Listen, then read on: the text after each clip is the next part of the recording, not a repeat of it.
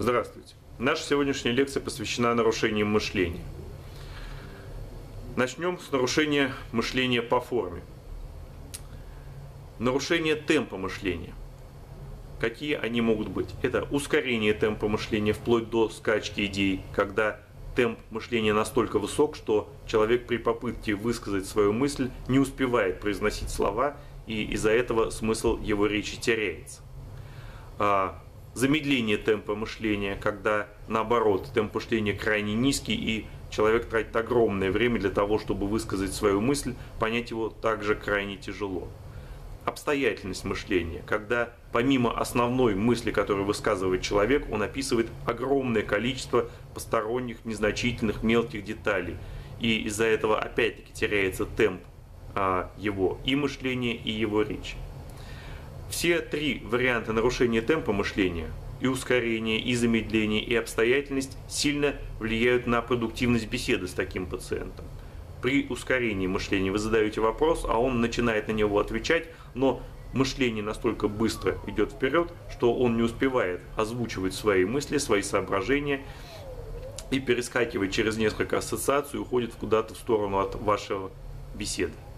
При замедлении все понятно, вы задаете вопрос, а ответа на него дождаться практически невозможно. При обстоятельности вы получаете массу параллельных дополнительных сведений, которые совершенно не относятся к теме вашей беседы. Также в нарушениях мышления по темпу я бы описал два таких явления, как ментизм, наплыв мыслей, когда через голову пациента, опять-таки наблюдается чаще при шизофрении, через голову пациента идет неконтролируемый постоянный поток мыслей. Человек не в состоянии остановить его, не в состоянии им управлять и, соответственно, не в состоянии полноценно контактировать. И шперунг, закупорка мышления, когда человек говорит о полном отсутствии мыслей. И в том, и в другом случае продуктивный контакт с таким пациентом невозможен. Нарушение мышления построенности. Нарушение мышления построенности могут быть следующие. Это разорванность мышления, когда а, в процессе разговора человек говорит о разных, не связанных друг с другом вещах. Отсутствуют интеллектуальные, эмоциональные, интуитивные связки между отдельными фразами, предложениями, даже иногда словами и слогами. Продуктивный контакт также нарушен, о чем мы говорили в нашей лекции, посвященной психотическим расстройствам. Резонерство – когда в процессе беседы вместо ответа на конкретные вопросы человек пускается, пускается в пустые разглагольствования на тему более или менее близкую к содержанию беседы. Речь идет об экологических проблемах, загрязнении мирового океана, космосе, возможности мировой катастрофы, экономических проблемах и так далее, и так далее, и так далее, когда речь шла, вопрос звучал, собственно, как вы добрались до нашей клиники. И опять-таки в результате этого резонерства к конечному пункту беседы, к конечному пункту вопроса пациент не доходит. Соскальзывание. Наблюдается часто при наличии бредовых идей, когда в процессе беседы о чем бы ни задавался вопрос, пациент рано или поздно, так или иначе, всегда уходит на какую-то определенную актуальную для него тематику. Ну, как правило, тематику бреда это очень четко прослеживается у паранояльных пациентов, когда они заряжены своей бредовой идеей, когда несут ее в массы, активно и с очень большим усилием продвигают ее вперед и, соответственно, с любой темы беседы всегда уходит на содержание своей бредовой тематики. По содержанию мышление может нарушаться следующим образом. Ну, первое, о чем мы уже говорили в разделе психотических расстройств, это бред.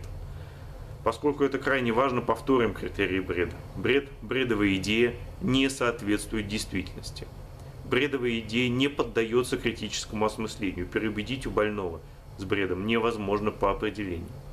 Бред полностью определяет поведение пациента. Бредовые расстройства, бредовые идеи могут быть крайне полиморфны. Как мы уже говорили, даже самые примитивные классификации включают в себя паранояльный бред, когда бредовая идея, как правило, ущемленных прав, изобретательства, реформаторства, сочетается с крайне эмоциональной заряженностью, стыничностью, активностью больных, которые внедряют эту идею всем окружающим в голову и в массы в целом. А, идея крайне систематизирована, привязана к окружающей обстановке, к действительности, к реальности. И слушая только пациента, почти невозможно определить, действительно ли это бредовая идея или реально описываемые обстоятельства. Параноидный бред, где помимо бреда преследования, воздействия, отношения присутствуют, как правило, всегда псевдогаллюцинации, но в силу того, что больной крайне напряжен, закрыт, подозрителен, он может о них вообще не говорить. И парафренный бред, когда бредовые идеи представляют из себя разрозненные, несистематизированные даже не идея, а высказывание бредового содержания. Наблюдается, как правило, эйфоричный, неадекватно приподнятый фон настроения, а, крайнее нарушение, крайне несистематизированность идей, зачастую нарушение и интеллектуальной сферы, наблюдается чаще при тяжелых психотических расстройствах, либо при хронических психических расстройствах. Это то, что касается нарушение э, мышления по содержанию, бред, бредовые идеи. В противоположность бреду существуют так называемые сверхценные идеи. В отличие от бредовых идей, при сверхценностях существует какая-то реальность. Если бредовые идеи полностью не соответствуют действительности, то сверхценная идея имеет в своей основе какую-то минимальную реалистичность. Сверхценные идеи по своей фабуле, по своему содержанию схожи с паранояльным бредом, то есть это, как правило, либо дисморфоманические, дисморфофобические идеи, ипохондрические идеи, идеи изобретательства, реформаторства, виновности, сутяжнические идеи, талантливости и так далее. Но для любой из перечисленных мною сверхценных идей обязательно присутствует какой-то реальный фактор. То есть если это дисморфофобия, то у человека в отличие от бреда, где никаких дефектов внешности нет, но человек говорит, что он уродлив, дисморфомания, то при, дисморфо, при дисморфофобии, при сверхценной идее, минимальный дефект внешности есть. Если это эпохондрическая сверхценная идея, то у человека есть какое-то заболевание, которое он развивает уже до масштаба Вселенной, вселенской катастрофы. При эпохондрическом бреде заболевания нет вообще. Если мы говорим об идее изобретательства, при сверхценности человек изобрел, ну, грубо говоря, на копейку, но считает, что изобрел на рубль. При бреде изобретательства никакого изобретения нету в принципе. Это отличие сверхценности от бреда. В принципе, больного со сверхценной идеей можно переубедить в том, что его достижение или его проблема не является такой колоссальной, как он себе представляет. И, соответственно, поведение таких пациентов – а, в отличие от бредовых пациентов, как правило, не выходит за рамки моральных и этических норм, принятых в обществе. Третьим нарушением мышления по содержанию являются навязчивости. Навязчивость является достаточно сложным а, психопатологическим феноменом, и мы будем о нем говорить отдельно. Сейчас мы скажем только о том, что навязчивости – если и бредовые идеи, и сверхценные идеи являются собственным продуктом психики человека, и человек воспринимает их как свои идеи, свои убеждения, свое, э, свою продукцию, свою, ну, нельзя сказать, что здоровую, конечно, но именно свою собственную продукцию, он не воспринимает ни сверхценность, ни бред как болезнь, то навязчивые идеи, навязчивые действия, навязчивые влечения, навязчивые страхи всегда воспринимаются пациентом как болезненные проявления. Отличие навязчивости от сверхценности и бреда в том, что навязчивость воспринимается как болезнь. Навязчивыми, как я уже сказал, могут быть идеи того или иного содержания, мысли, восприятия, сомнения, представления. Навязчивыми могут быть влечения, к ним как раз относятся различные мании, клептомания, пиромания и так далее.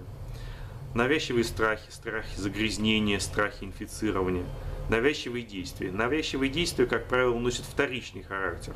Допустим, первичная навязчивость, навязчивая боязнь загрязнения и вторичная навязчивость, навязчивые действия, мытье рук. О навязчивостях надо сказать, что в отличие от других психопатологических феноменов, которые, как правило, не мигрируют из психотического в непсихотический лагерь, или наоборот – навязчивости изначально являются не психотическими расстройствами, в определенных случаях могут достигать степени психоза. Так, при навязчивом страхе загрязнения, о котором я уже говорил, вторичная навязчивость мытья рук, и человек моет руки час, два, три, четыре, пять, смывает руки до костей, и в итоге говорит, что, возможно, это действительно единственный способ защититься от грязи. То есть на, изначально навязчивый страх приобретает характер уже бредовой идеи. Итак, мы рассмотрели с вами нарушение мышления по форме и по содержанию. Обратить особое внимание следует на следующие моменты сугубо практического характера. Если мы имеем дело с нарушением мышления по форме, как правило, всегда мы наблюдаем невозможность продуктивного контакта, продуктивной беседы с пациентом. Вы можете не знать и не суметь определить, какое именно это было нарушение, но зафиксировать сам факт невозможности продуктивного контакта, продуктивной беседы с пациентом, находящимся в сознании, вы обязаны. Если, если мы говорим про нарушение мышления по содержанию, на первом месте для фельдшеровской помощи должен стоять, конечно же, и по актуальности такой синдром, как бредовый синдром или бредовое расстройство, бредовые идеи. Его критерии мы еще раз повторим. Бред не соответствует действительности, бред не поддается критическому осмыслению, и бред полностью определяет поведение пациента. В случае выявления нарушений мышления по форме с невозможностью продуктивного контакта, либо бредовых идей, вы в обязательном порядке должны фиксировать это в медицинской документации и оповещать как свое начальство, так и психиатрическую службу. Спасибо за внимание. Всего вам хорошего.